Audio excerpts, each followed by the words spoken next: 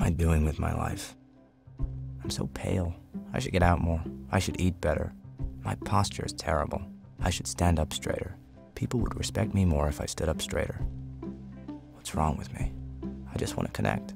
Why can't I connect with people? Oh, right. It's because I'm dead. I shouldn't be so hard on myself. I mean, we're all dead. This girl's dead. That guy's dead.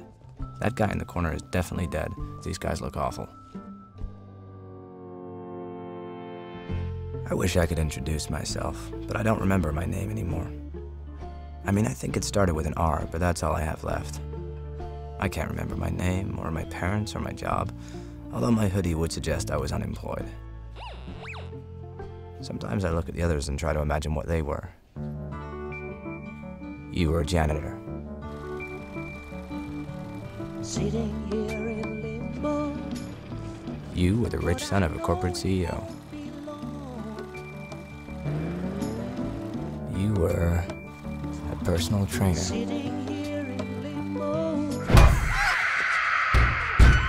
And now you're a corpse. I have a hard time piecing together how this whole apocalypse thing happened. Could have been chemical warfare, or an airborne virus, or a radioactive outbreak monkey. But it doesn't really matter. This is what we are now. This is a typical day for me. I shuffle around, occasionally bumping into people, unable to apologize or say much of anything.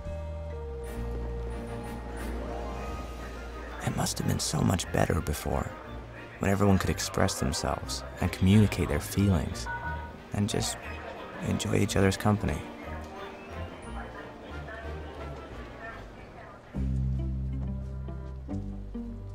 A lot of us have made our home here at this airport. I don't know why. People wait at airports, I guess, but I'm not sure what we're all waiting for.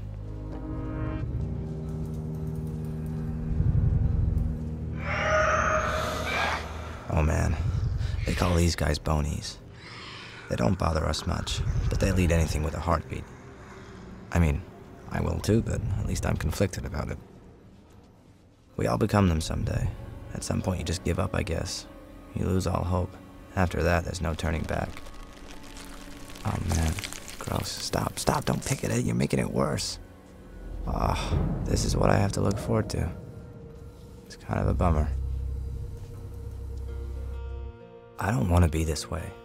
I'm lonely. I'm lost.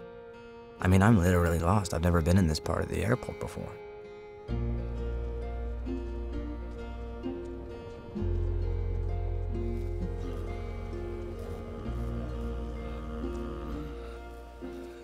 This is my best friend. By best friend, I mean we occasionally grunt and stare awkwardly at each other. We even have almost conversations sometimes.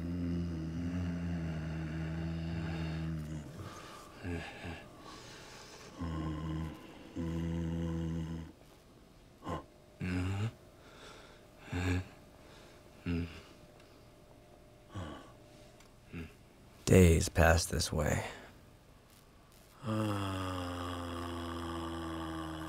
But sometimes we even find actual words. Words like Hungry. and